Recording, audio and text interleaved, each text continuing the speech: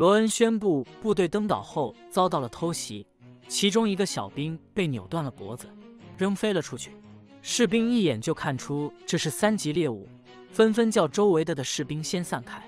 随后又遭到了偷袭，这些士兵也不是吃素的，很快就锁定了目标，对着一人就是一阵扫射。那森一人躲到树后，本以为安全了，没想到刚才在躲避的过程中中弹了，很快便昏迷了过去。士兵提醒同伴九四躲的话需要视野，小兵随即扔下一枚烟雾弹，其余士兵照做，三枚烟雾弹立马发挥作用，战场一片雾霾。但小兵又发现了异常。果然，他在找我们。切换模式，注意分辨。在丛林的深处，一人也不敢轻举妄动。他们隐藏了自己吗？即使共享了你的视力，我也看不穿那烟雾。这个应对太顺畅了，不好的预感。我带您离开这里。就在这时，烟雾处几发子弹扫射了过来，全部都击在了一人的身上。士兵们集体踏步而来，整齐有序。他们开启了最新的科技——红外线探测仪。在浓浓的白雾中也能够锁定目标，士兵很快就捕获了三级目标。有一人躲在丛林深处，以为没人会发现，结果被士兵给揪了出来。这次捕获的也是三级目标——灵虫赛亚。艳阳高照，被西摩斯的人已经将集市控制完毕，捕获三级目标的任务也进行得十分顺利。坐标标注完毕，等待接收。十七组继续推进，一切正常。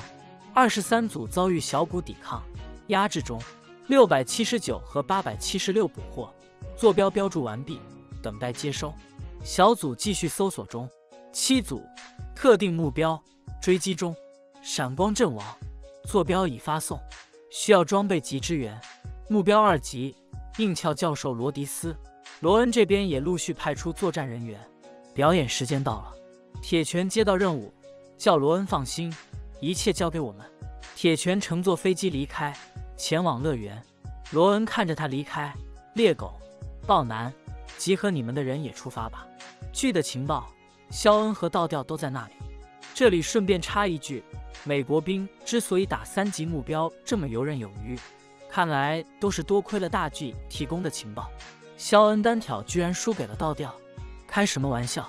罗恩再三提醒道：“记住。”你们首要任务就是解救肖恩，还有把倒吊给我活着带回来。猎狗对豹男说道：“听见了吗？豹，正义的英雄需要咱们去解救了。”豹男冷笑了一声。罗恩表示自己也没办法，最近几天正好世界各地都有状况发生，肖恩派的人没经历过这里。懂？这里发生的一切不适合被肖恩派的英雄看到。如果不是你们管不了肖恩，才不会让他来这座岛。我搞不懂的是，肖恩那么麻烦的家伙，你们为什么不放弃？别跟我说你们没有能力让他还有那个倒吊消失。听到这话，罗恩十分恼火。如果不想你们脑袋爆炸的话，就乖乖闭上嘴去干活。好的，主人。等美国队长和自杀小队走后，罗恩心想：你们这些垃圾怎么能明白，作为 FP 一的受体幸存者，那两人的重要？本来一的目标是为了稳定激活人体潜能所开发的，但是所有受体除了两人全部死亡，而且死因全部相同。而成功的这两人，至今所展现出来的潜能似乎都没有看到上限，以至于到现在对弈开发了两人怎样的潜能还没有定论。而且那一批编号唯一的 SP 在完全相同的条件下也没法复制，似乎那是实验室偶然所得的产物。导致其不稳定和无法复制的变量，至今没有找到。如果成功与否的变量真的取决于人的话，那么这个结论会让公司和我个人都很失望。但是成功后的效果太惊艳了，公司是不会放弃继续对一的研究。那么就绝不能失去这两个已经成功的样本。另一边，倒吊发现战争好像已经开始了，和小虫划清界限，你自己可以离开吧，还是需要我找人送你回去啊？小宝贝，小虫没有理会倒吊，问肖恩：“你真的要留下来？”肖恩没有回答小虫的话。看来肖恩知道了贝西摩斯的所作所为后，决定反水，和倒吊一起保卫内森岛。小虫问肖恩是否真的要留下来，肖恩没有说话，倒吊也就明白了他的意思，开始商量正事。我之前打败了这个人，从我们获得能力开始到了现在，这是第一次。于是我向这个人提出一个请求，像个期望奖励的孩子。我希望这个人和我做一个约定，在接下来的时间里，这个人会留在岛上，但不要去干涉这岛上的任何一方，只是看着。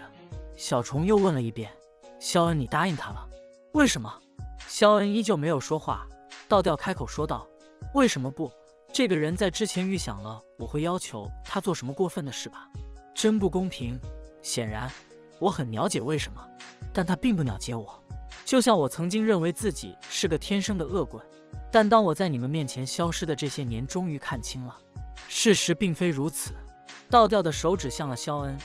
这家伙也是天然的相信自己在做对的事情，于是我战胜了他。现在轮到这家伙了，就这一次，一次就好。放弃自己预设的正确立场，只是看着，看清他们每一个人，然后再下结论。倒吊叹了口气，不过就算你答应我了，我很怀疑以你的性格真的会遵守吗？毕竟是一个和恶棍的约定，即便毁约了，也不会违背你的正义吧。肖恩叫小虫赶紧离开这里。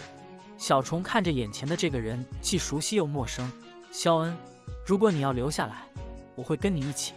肖恩看着小虫，一时间不知道该说什么，转头对倒吊冷哼道：“这孩子很倔强的。”倒吊觉得自己无所谓，他打了个响指，召唤来了小兵。小兵一上来就对小虫的脸一阵蹂躏。小虫质问对方到底要干什么，倒吊解释。不会限制你们的能力，也没有负面影响。不信可以试试，只要默念一会儿教给你们的咒语，就可以恢复。小兵又给肖恩进行了易容，以你们的身份，即使想旁观也很难的。倒吊，他们在接近这里，听到门口有声音传来，倒吊走了出去。倒吊，怎么办？随便，和以前一样，愿意把你的拳头挥向谁都行。贝西摩斯，可以，你身边的人。可以，那森位可以，甚至冲我来也可以。唯一的规则就是为所欲为。不过你们要意识到一件事，这个让你们肆意妄为的乐园恐怕将不复存在。我个人的意见嘛，不如狂欢，尽兴之后爽快的投降也没问题。向那些生意人展现你们的价值就好。记住，你们这帮混蛋可以背叛任何人，但是唯独不能背叛自己。乐园不是一向如此吗？倒吊的一番演讲让大家兴奋不已，民众开始欢呼雀跃。倒吊，别死了呀！来吧，打垮他们！小虫和肖恩已经易容成型，两人走了出来。对于肖恩的一番演讲，小虫就哼了一声，似乎对他有些许的不满。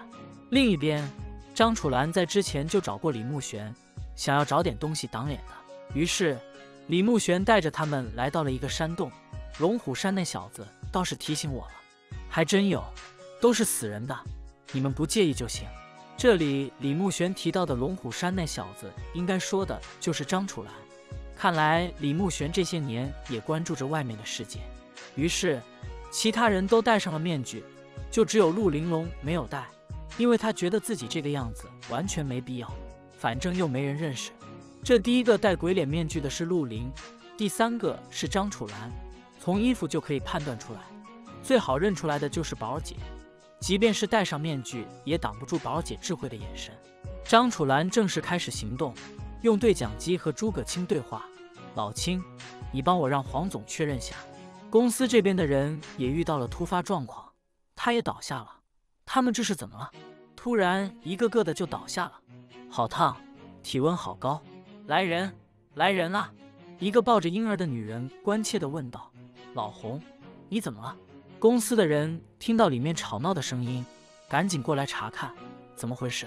我们不知道呀。忽然他们几个就倒下了，公司的人不敢大意，如果是传染病就不好了，赶紧把这几个单独照看起来。几个人被抬上担架，这几个过于危险的都先控制起来了。老黄问道：“确认了没有？有没有个叫王国平的？”确认了，没有。他们的个人物品呢？有没有携带描述中的那种小球的？也没有，但查的并不细。黄总，不能逼得太紧。这些人现在看上去可怜兮兮的，您可要知道，上这岛的没有善茬。老黄想想也是，行吧，等回到咱们的地界再细查。不知不觉间，贝西摩斯的大军已经杀到，八组、十五组汇合，推进中。为首的士兵伸出拳头，示意大家先停下。山上的两头已经埋伏好了人手，小心火焰修士。这些人神树的狂热归体神明。话音刚落，士兵就遭到了火焰修士的火盾。神树这边，那森王给那森卫下达命令，神明与他们交手了。去吧，我的卫，消灭这些外来者。一人之下的漫画下周又要休刊了。一人之下第五百八十八话已经更新，但同时也发出了公告。抱歉，下周得休一刊，时间没整理好。这周的秀帖应该周五夜里、周六凌晨更出来，现在还在尽力赶，但是可能赶不出。如果能赶出来，就是这周五夜里、周六凌晨更；赶不出，会在周六夜里、周日凌晨更新。因为设计画面复杂，漫画本片这边目前画的时间也比较长。抱歉，下周我休一刊，攒几期番外的分镜和缕缕剧情。正如之前想的一样，这一话又水了。那森王正式宣布和贝西摩斯的战争，所有内森卫等待着内森王的指令。以利亚、阿方索、王城交给你们。伊莲娜，你留在这里。想了一下后，那森王继续说道：“必要的时候帮我一下。”伊莲娜点头回应。其余人去吧。是。其余内森卫都立即开始行动，那森王和伊莲娜留在了这里。看来内森王确实是没有什么战斗力，所以他要求的伊莲娜在必要的时候帮自己一下。那么究竟会帮什么呢？或许和他身后的那棵神树有关。贝西摩斯的士兵遭到了火盾，其余人员纷纷对着山上的神明开火。面对这么多的子弹，神明没有一个要躲闪的意思，那些子弹竟然都在空中停了下来。看来这些神明当中有人会御物，子弹全部都落在了地上，这么狼狈吗？男人强撑住身体说道：“很有力量，这些子弹停下他们比停下你的刀要困难。”火焰修士叫杜夏不要小看这些人，你们知道我是怎么来到这座岛的？杜夏冷笑道：“是吗？”话音刚落，杜夏就猛然挥起大刀，朝着士兵们砍去，一道道气刃轰击在了士兵身上。上吧，神明们！让外面的凡人见识一下我们的力量。其余一人纷纷响应，从高处跳了下来。上啊，干掉他们！神明们个个就像是打了鸡血似的，奋勇杀敌，冲进去，接近他们对我们有利。为首的士兵招呼大家先退，双方互相开始厮杀起来，枪声不绝于耳。面对这枪林弹雨般的扫射，维京男快速躲闪，并对高科技吐槽了一番：子弹这东西，原来这么慢的吗？待稳定好身形后，维京男手持两把短刀，杀死了两个小兵。红毛一脚将士兵踹飞的同时，士兵对着红毛是一顿扫射。红毛用粗壮的胳膊护住脑部，子弹进入他身体的那一刹那，红毛就感觉自己的胳膊像是麻掉了一样。你们就想仗着这种东西来毁掉我们的家吗？红毛身上的子弹全部脱落，对着士兵挑衅道：“那不如拿着酒来。”另一边。在山洞内的士兵知道这回是遇到硬核的了，立马叫大家不要纠缠，立刻脱离，夺取视线。士兵们纷纷往地上扔闪光弹，一道耀眼的白光过后，大家的眼睛都失去了视觉。神明也不知道这是什么东西，眼睛什么都看不见了。士兵们趁这个机会开始疯狂扫射，扫过之处无一人站着。杜夏冷哼了一声，他是凭借着声音躲过了子弹。他很想睁开眼看看，但还是看不清。此时，一把枪正对准了杜夏。就在士兵扣下扳机的瞬间，一只拳头凭空出现，士兵直接被人轰成了一滩烂泥。古娜脱掉衣服，士兵们认出这是二级目标女武神古娜奥特林德。被西摩斯的人一直观察着战斗情况。八组，停止继续推进，保持安全距离，盯住神明和女武神就行。增援很快就到，士兵接到命令后纷纷开始撤退。杜夏还想要将他们全部干掉，被古娜拦住了。你们继续守在这里，这里是通往王城的路之一。这些人，我一个人足够了。刚才的一拳所造成的杀伤意外的低，直接击溃的那名士兵身体强度也出乎我的意料。难道这些土兵跟岛民和我们一样？某种意义上，他们也是有资格被叫做神之子的人。被西摩斯的士兵陆续过来支援。古娜利用神威空降到战场，一拳就是一个，地面都被轰碎了。士兵见状，立马对其一阵扫射。古娜挡住子弹的同时，瞬移到了小兵的身边，直接拔掉了对方的一只胳膊。贝西摩斯的士兵纷纷释放烟雾弹，战场被烟雾笼罩。古娜瞬移到了高处，发现一片雾霾，小兵躲在树后，停下来了。他在找我们吗？看来情报大体准确，王和九名卫都可以在全岛范围内任意穿梭，这是对于我们的行动来说十分棘手的能力。这个能力是由两种途径来实行的：一，通过对岛内地形熟悉的认知来移动到指定的地点；二，通过定位岛内的生物目标来移动。根据情报，能够掌握岛内生物目标的信息是王独有的能力。结合现在的情况来看，王应该无法掌握岛内全部生物信息并知岛位的移动。而未想针对目标进行移动的话，不管视觉、听觉或者嗅觉。必须确认到目标的位置才能完成。很好，那森卫虽然难缠，但和我们以前对付的目标没有质的区别。看来贝西摩斯的这群士兵训练有素，经常抓一人啊。在士兵心中，贝西摩斯是天使还是恶魔与自己无关。我只知道他们的 SP 系列让那个孱弱濒死的我变成了超人。我想通过 SP 获得更大的力量，更长的寿命。为了这些。毁掉什么都是值得的。小兵扣动扳机，子弹飞射而出，与古娜擦肩而过。就这么一瞬的功夫，古娜就找准了小兵的位置，一只手按住小兵的脑门，小兵的子弹疯狂突突。古娜蓄积好力量，一拳就清扫了战场上的雾霾。士兵们都被这股强大的力量所波及，纷纷后撤，去射击符文分布稀松的地方，认为这样就可以打穿我的防御吗？其实符文力量的变化和强弱是靠排序组合来决定的，白痴。不过能看到符文并做出特定的攻击，你们果然也是拥有力量的人。二级九号目标安东尼出现，四级一号目标剑圣望月雾出现，二级四号目标贵金属加西亚维蒂西出现。这一切都在贝西摩斯的掌控中。我们的预判到目前为止没问题，预想的道路上都出现了神明和位。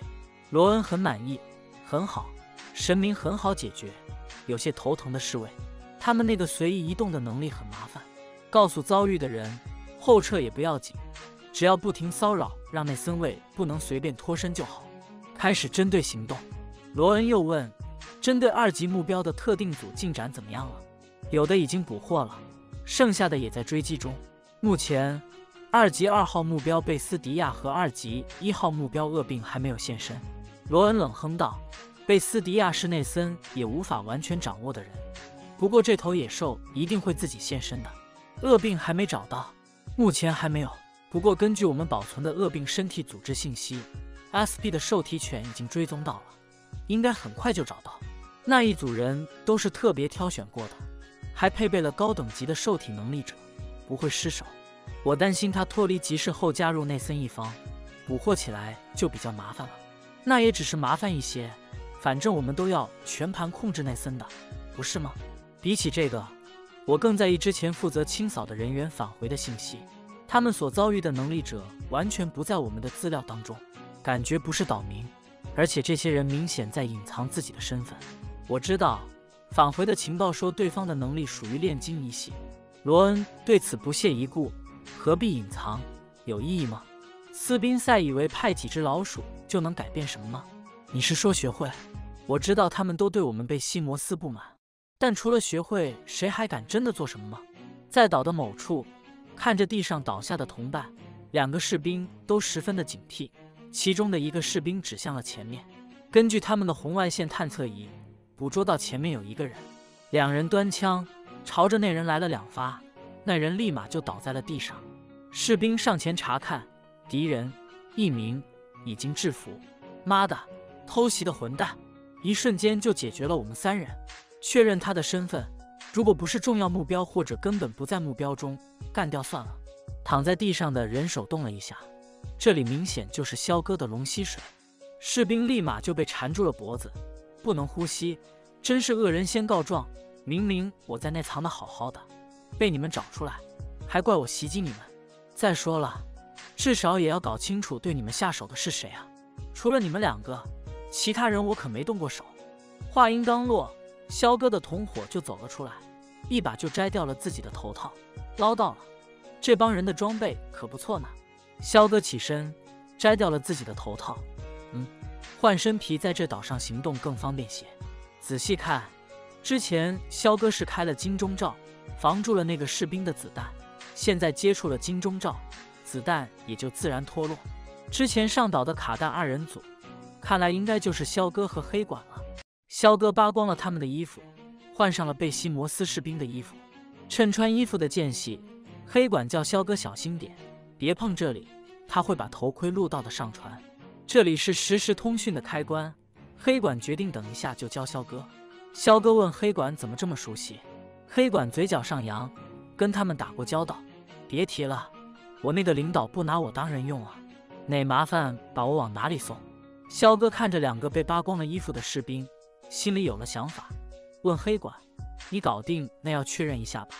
既然换了皮，原主人就不能留。”黑管没反应过来是什么意思，然后就懂了，原来想要在餐前吃个小菜。两人换好衣服后，就地取材，在旁边挖了个坑。黑管提醒老肖。还是要收敛一点比较好，别因为你的嗜好影响了整个行动。